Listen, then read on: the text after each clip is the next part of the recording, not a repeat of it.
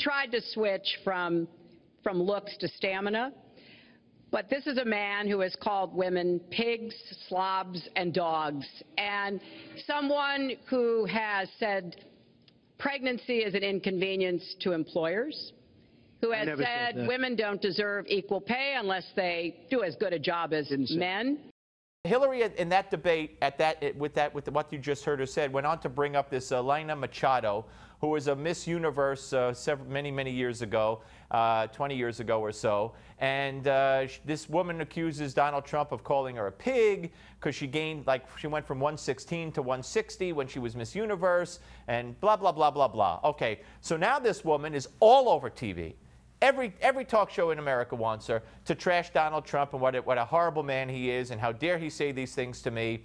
Um, of course, they're finding some holes in the story.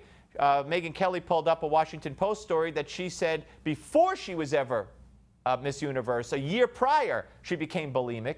Uh, and she was accused by a judge in Venezuela of threatening him and of driving her boyfriend away from a murder scene. But that aside, um, how does Hillary, what, what possessed Hillary to go here, to go there, when it's one thing to say things about women, but you got a whole bunch of women who are willing to come forward and say, Bill Clinton did this to me, and then Hillary threatened me, and or Hillary trashed me, and Hillary ruined my life. So how, why would she go there? Well, Hillary doesn't call me for advice, so it's hard for me to understand. But I will say, Steve, that I hope both candidates in the next 40 days will start talking about the issues. And frankly, I think Hillary beats uh, Donald Trump on the issues, and that's what people want to hear about. They're, the the economy is kind of stagnant, and we want to know how we're going to fix the economy. We want to know how we're going to pay off the deficit. And we want to know how we're going to keep uh, ourselves and the world safe.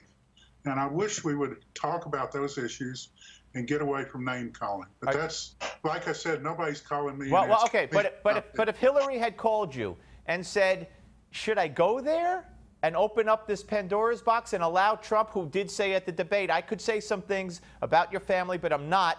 He might yet. He didn't then. Would you, if, if she said, Webb, should I do? Should I bring this up? Should I put this woman out there? What would you have said to her? I would have said you win on the issues, so stick to the issues. So no, you would have said, "Don't do it." Uh, that's what I would have said, but like I said, they don't call me.